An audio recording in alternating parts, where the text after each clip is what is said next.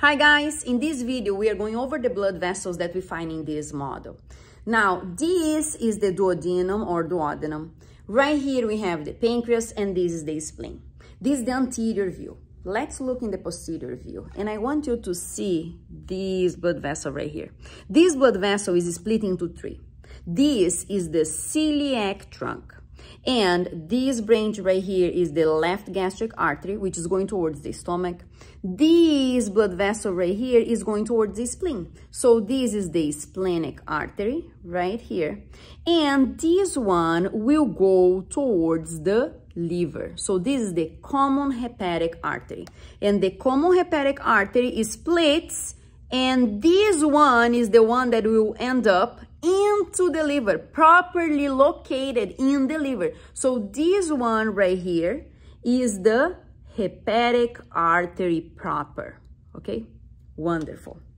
Now, if we know that this is the splenic artery and we see a vein right here also going towards the spleen, this is the splenic vein.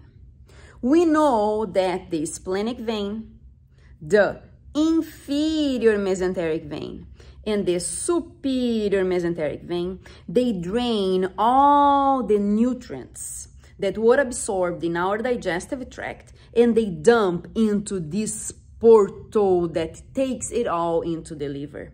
So this one is the hepatic portal vein. I just said that this is the superior mesenteric vein this one is the superior mesenteric vein. And right next to it, we have the superior mesenteric artery. Now, when you look in this view, it's very easy to see that this one is superior in relationship to this. So this is the superior mesenteric vein, and consequently, this is the inferior mesenteric vein.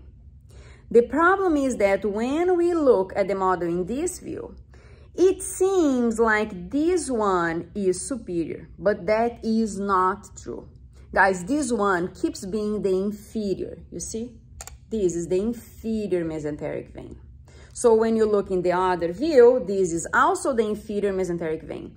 And these are the superior ones. So the blue one is the superior mesenteric vein and the red is the superior mesenteric artery. What you need to keep in mind is that these two, they crossed over.